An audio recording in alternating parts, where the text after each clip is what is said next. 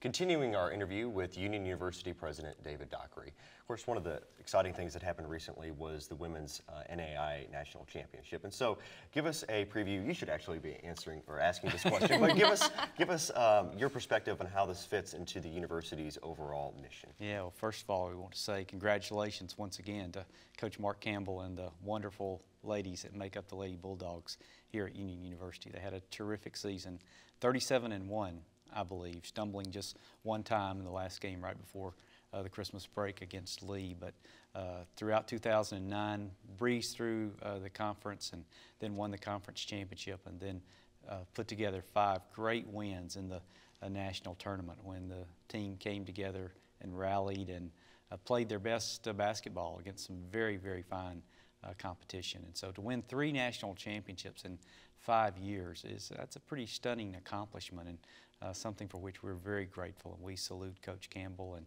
and the ladies. It puts uh, Union uh, on the map in different areas. Got a, a, very nice national story from Associated Press, another one from ESPN that was echoed all over the country.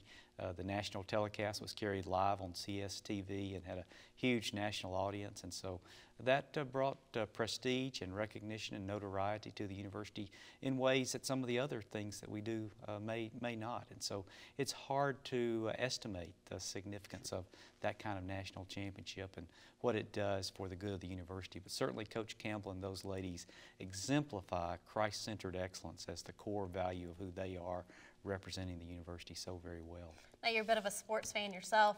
Uh, how important do you feel that athletics is not just for the community to see what Union can do, but also for the students to have a rallying point? Yeah, I think the uh, students love the athletic programs. You know, they gather in the fall or out at the soccer field, and uh, that that is one group of our students like soccer, another group likes likes basketball, another group seems to like the spring sports. There are a few sports fans that go all the way through and follow all the teams, but it seems to me that there are different students who follow the, the different sports. And that gives them an identity and uh, helps create a sense of belonging and connections here at the university. And, uh, you know, I, am very proud of all of our sports. I think our coaches do a, a great job. And, uh, and you know, the most visible sports are men's and women's basketball. And we're in great hands as we move forward with Coach David Niven and Coach Mark Campbell.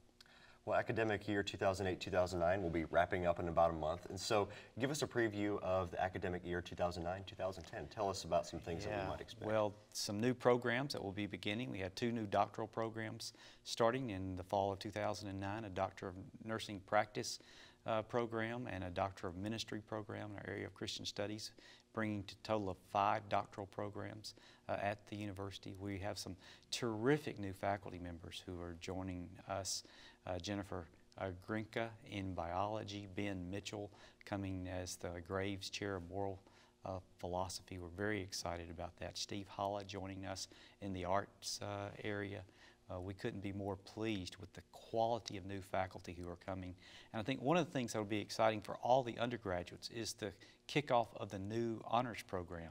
We've had a wonderful honors program in years past, but it's been focused primarily in philosophy and literature, but now the honors program will be distributed all across the university and every discipline will be able to participate in the honors program. We have a new honors director coming and I think the future is bright for the quality of students who will participate in that area.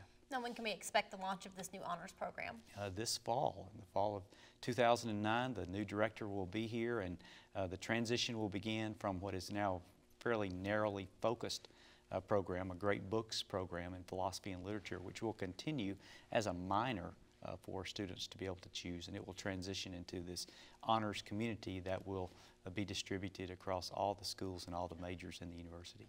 We have about 30 seconds left, but give us your perspective as a president of a university, how a television show such as Jackson 24-7 fits into university life and how the university presents itself. Well, I just want to congratulate the two of you and all of your colleagues who have been a part of this exciting venture uh, to bring 24-7 to reality from the dream that uh, Professor Beverly uh, had, sharing it with the administration, sharing it with his colleagues, sharing it with students. I told him that maybe you should try one a week, but he was convinced that you could do a show a day, and I, I just salute you. It's been great. I hear wonderful things from people all across the community who tune in every day, whether they watch it live or watch one of the replays. They're impressed with the quality of our students and the opportunity for us to tell the union story or to tell a perspective, uh, a union perspective on the news has just been uh, exciting to watch. And so I, I'm thankful for each one of you and salute you on this 100th broadcast. Well, we thank you so much for joining us and thank you for giving us the opportunity to do these broadcasts. Yeah, thank you. And when we come back on our 100th episode of Jackson 24 7, a man who knows all about and everything about broadcasting in Jackson. He is indeed the face and voice of E Plus TV6, Steve Bowers, and he'll join us next on Jackson 24 7.